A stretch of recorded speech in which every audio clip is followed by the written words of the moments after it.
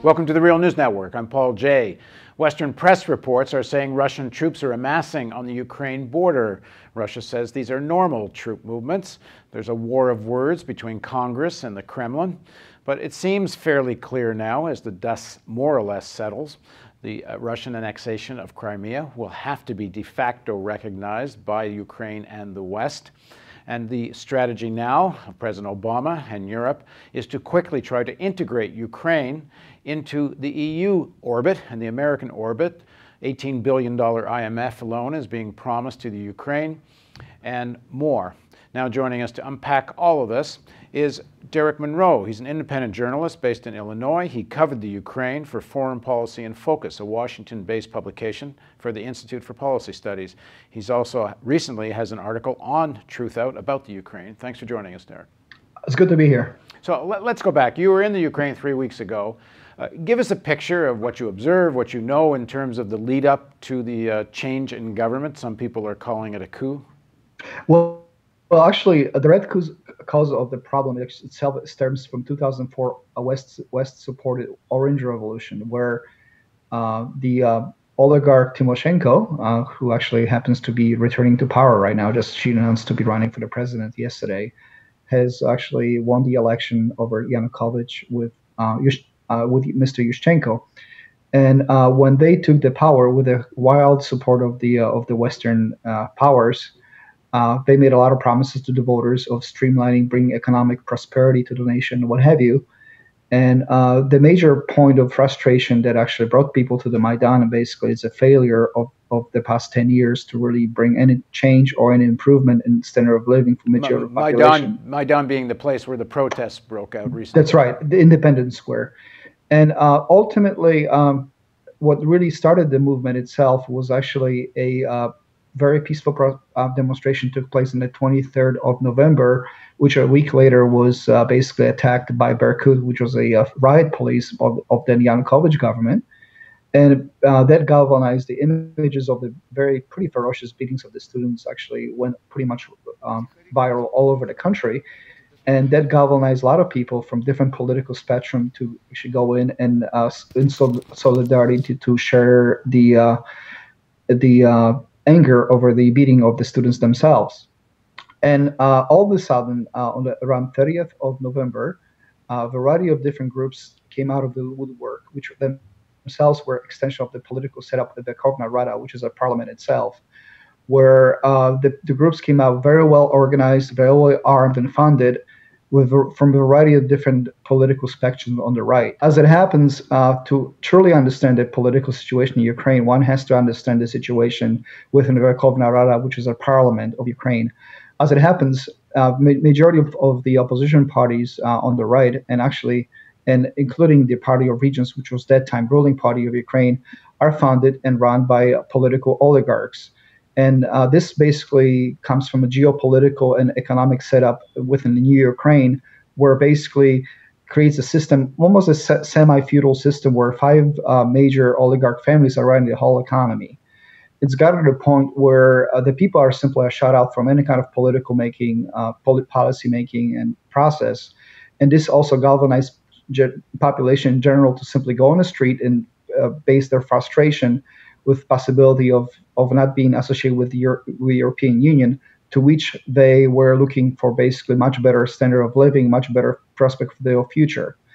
And as it happened, when the uh, I got to Maidan about second week of February, uh, during a sort of a lull in fighting, and uh, what really galvanized the situation to, to, come to the explosion was the 18th of February uh, Yanukovych administration's ultimatum to clear this, the government buildings within the square itself by 6 p.m. or face the repercussions and attack of the police, militia, and uh, Berkut forces. And uh, as some groups have taken the advantage of the amnesty and vacated the buildings, there was there have been a lot of internal fighting between the variety of different nationalist, fascist, and you know, neo, ne- basically neo-Nazi groups which basically took over one building versus the other, and that created sort of re- some somewhat of an interesting razzmatazz of different political factions fighting over the territory and so on and so forth. However, the consensus was taken uh, within a, within the right sector that, uh, that they're not going to vacate. They simply do not trust the government. So when the police attacked, it got to the point where there's been a sort of a very interesting and very medieval warfare, almost positional warfare, with a variety of different weapons being used, most of the medieval style weapons. However, there were also guns brought to the to the place itself, which in itself uh, then there was a ceasefire, and then once again, uh, which was broken up by by the rebels. And at, at the end, it got in a situation where uh, there were the people on the right were able to get through the police barricades and basically took over the government government buildings uh, and threatening the life of the president Yanukovych at that time, uh, which basically fled. When he basically fled because of the threats to him and his family. Mm-hmm. At that time, Verkhovna Rada basically had an extraordinary late to the night, um, basically uh, a conference where they decided to basically remove the Yanukovych from power, regardless of the of the Constitution, Article 111, which specifically states they have to get at least mi- minimum 338 votes in order to a resolution like that to pass. Not to mention follow the impeachment process, which hasn't happened.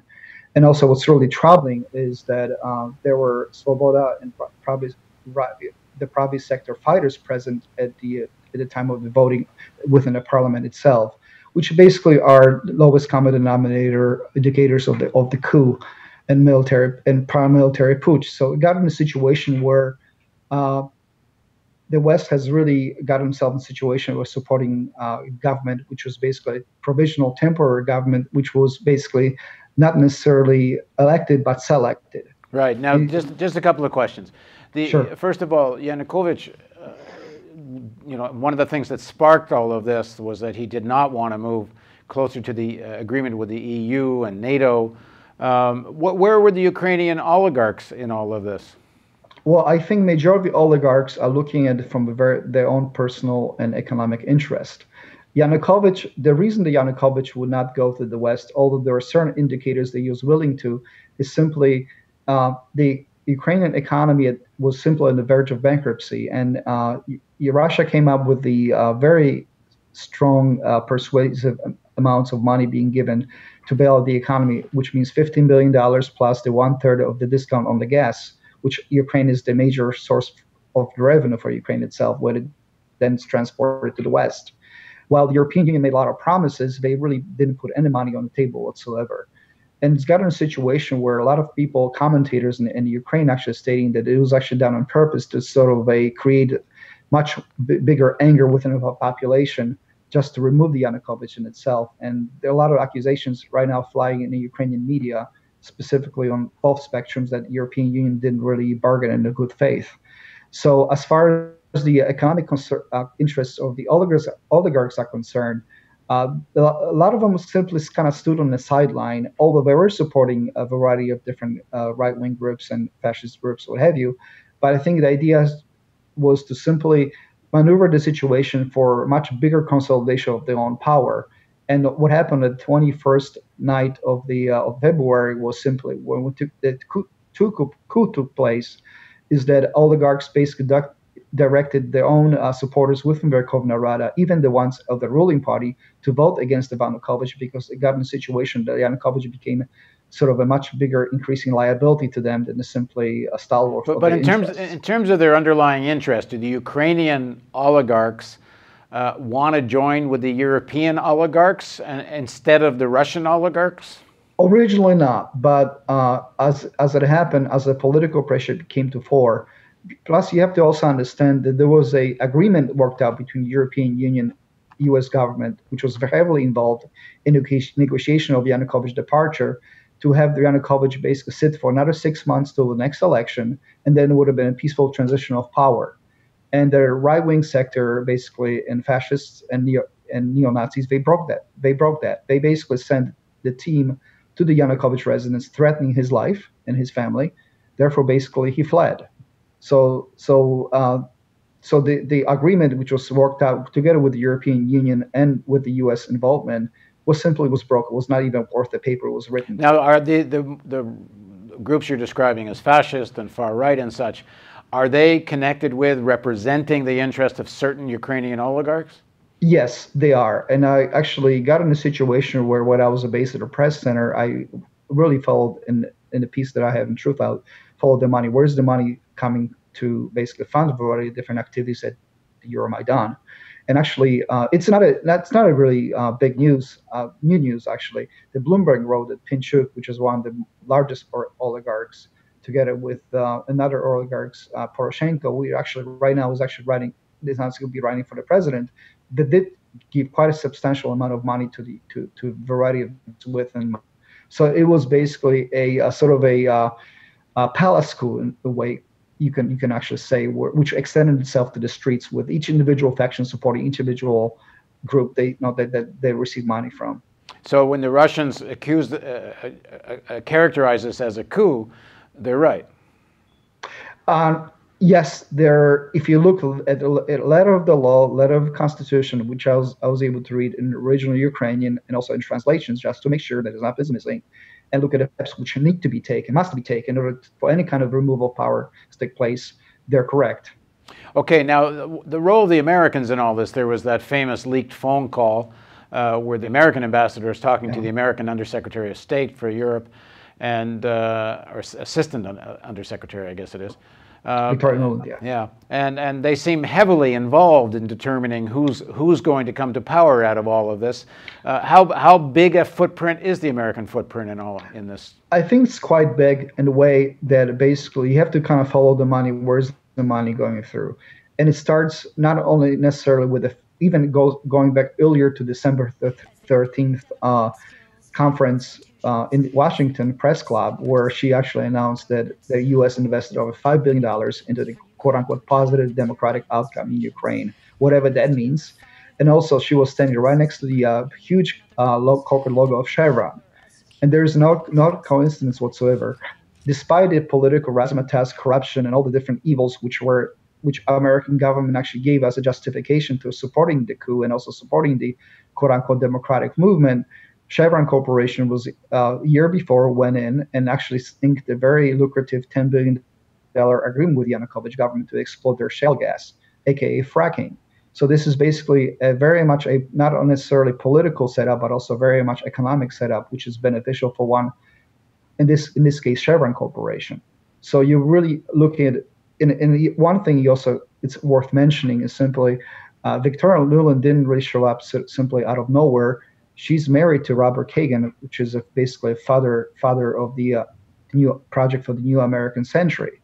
So, despite of the political change and which took place in 2008 when President Obama was uh, ele- elected, it seems very much that the same political powers that be during the Iraq wars in Afghanistan are currently playing the same chief role in formulating American foreign policy in Ukraine or other places for for that matter seems in this case to be a sort of a family affair. And for those who don't so know, Project for New American Century was a document written by American neoconservatives. Uh, uh, I guess it was essentially during the, near the end of the Clinton period, where they recommended, let's recognize we are the world's single superpower, and we should project our power everywhere and shape the world as as we please. we're no longer in a, a world where we have to deal with another superpower. But maybe they're finding out that isn't quite so true here. Mean, they're not pushing Russia around quite as much as perhaps they thought they might be able to. Yes, and I think first of all, I think what's really missing from the U.S. media coverage is simply understanding the Russian point of view.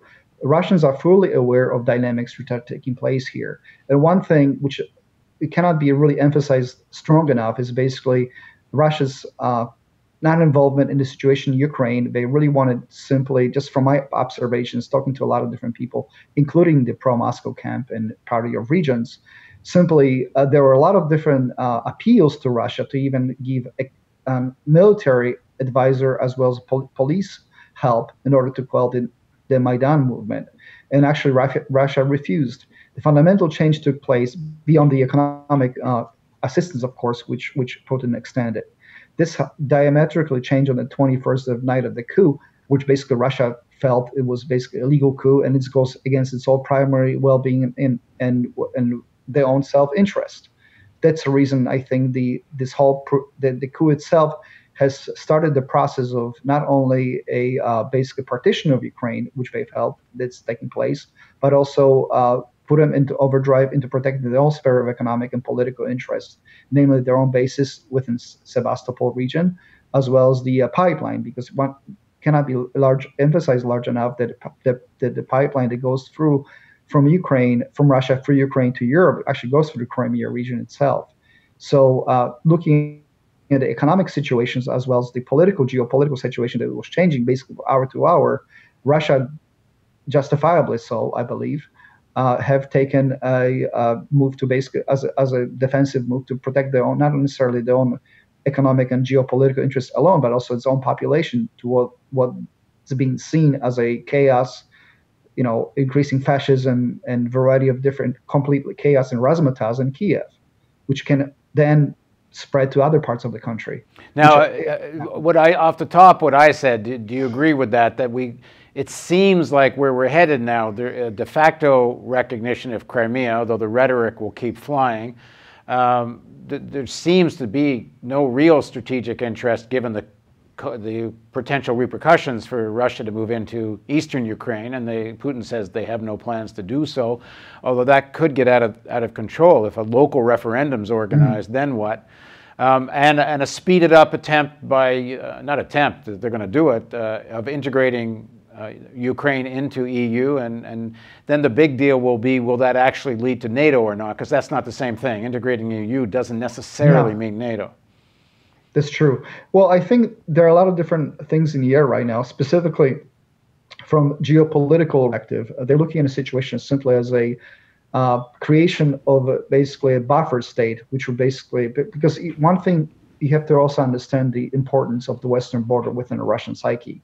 They've been invaded, uh, you know, Napoleon, uh, World War One, World War Two, uh, and actually the western border itself has extremely very um, I think, important role in their national psyche, how they look at the national and international relations, and also their own political uh, setup as far as, as as far as the danger is concerned. So they're looking for specifically to preserve Ukraine more like a like a buffer state, just for its own preservation of its own geopolitical economic interests.